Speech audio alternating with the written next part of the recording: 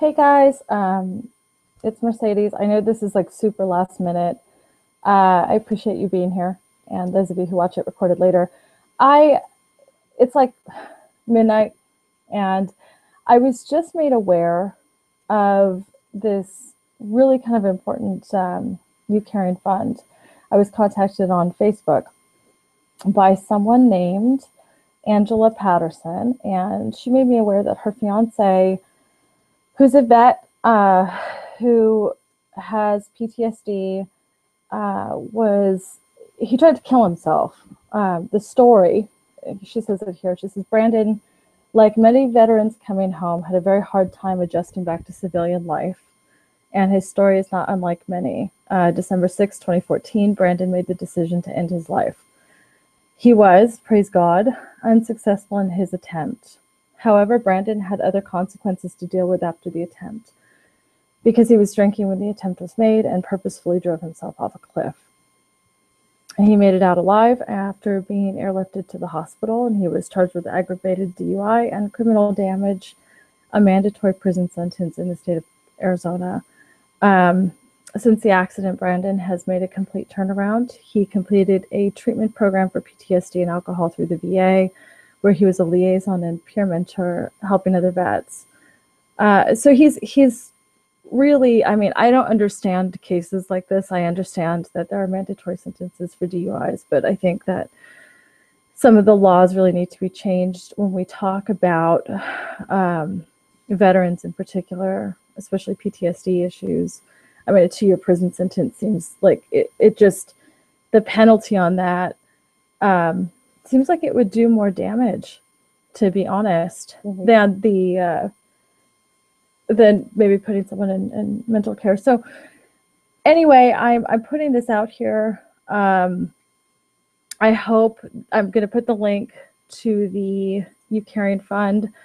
I'm hoping that we can get a little bit more press on this because, and and really, um, she she's not asking for a lot. I mean, they're they have a five thousand dollar goal, I think that's just such a such a low amount considering what they went through. So uh, if you can share the YouCaring Fund, I I don't know what else to do. I just wanted to throw this on stream because maybe this will uh, end up, you know, hitting some people.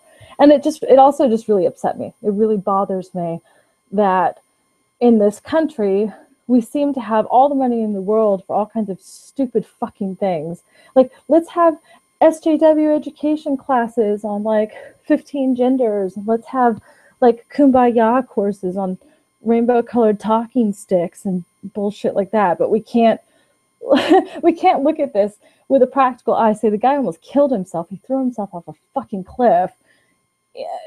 I, you know, he's got a family he's got children. So let's penalize him and his family. Let's take him out of society for two years and penalize his kids over a mistake he made that I'm sure he's very, very sorry about.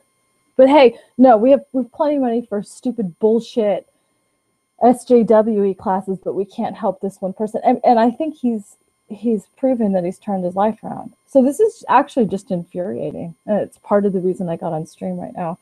Um, because it's it's incredible that we live in a world and and don't we have some sort of common sense law in place?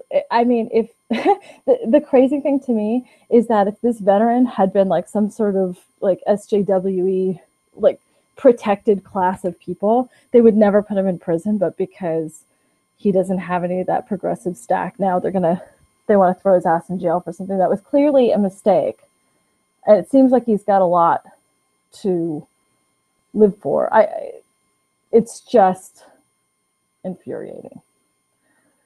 So, um, this is more of an announcement than it is a stream. I would love it if you guys would tweet that link out. And no, no kind like no veteran should want for anything, but especially like really basic health mental care. And penalizing suicides, I mean, criminalizing suicide attempts is stupid anyway, but especially somebody who just came back from a fucking war zone.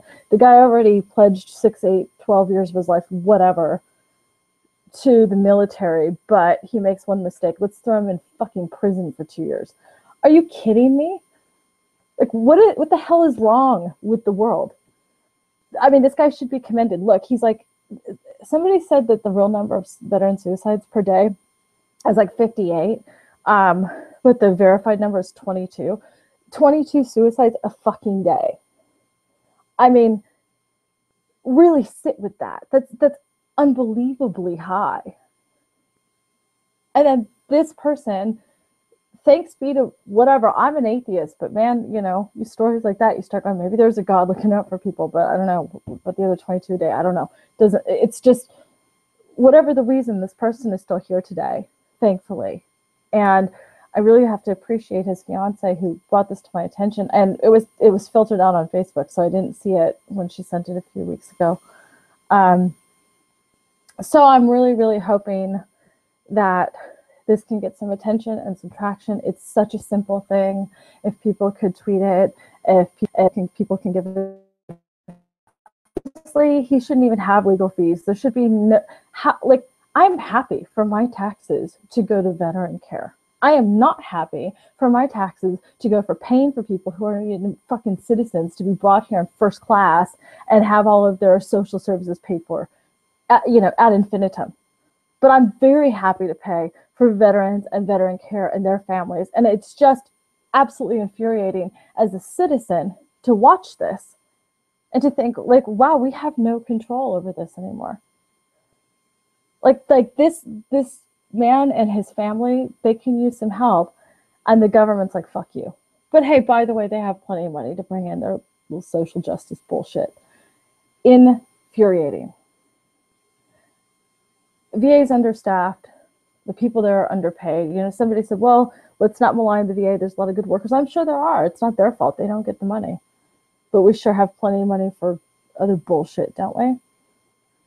Anyway, I appreciate all of you getting on at this time, at this random hour, um, to hang out with me for a couple minutes. And please, please tweet the link out because it's just, I can't even believe that this happened still. So, all right. Love you all. Be well. Talk to you soon. Bye.